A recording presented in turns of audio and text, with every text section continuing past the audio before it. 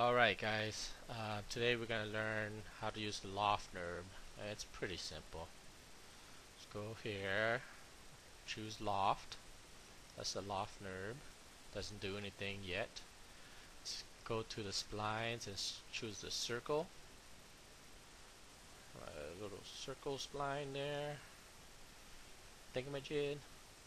And let's go choose another circle. Let's drag that circle out. Uh, and let's make this circle 200. So put the first circle in, second circle after that, and that's what loft NURB does. But you can even add more. So let's put another circle in. Let's drag that circle out. Uh, then put the circle in. Whoops, it's got to go in. So it goes from big to small circle to big circle or whatever size you want to do it.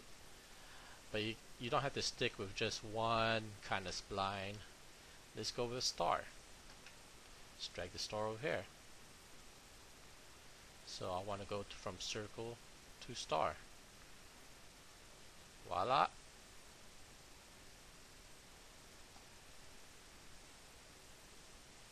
And if you look, at your right display you can see it's a circle smaller circle bigger circle but you can't see the star here but you can see the star on the side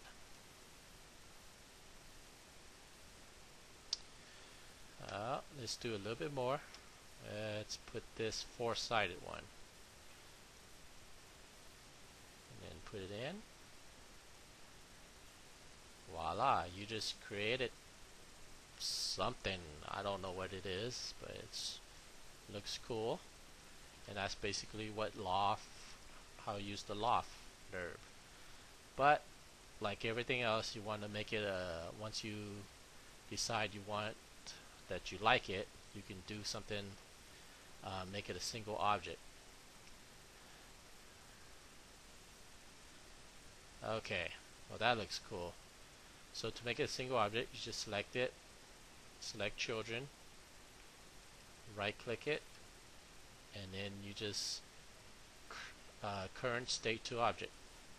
And then it creates another one over here. So you can delete the one you were working on. Now you select it. Select children.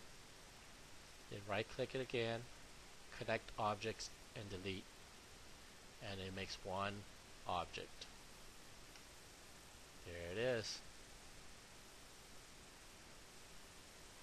One single object for you. Then just name it whatever you want. Uh,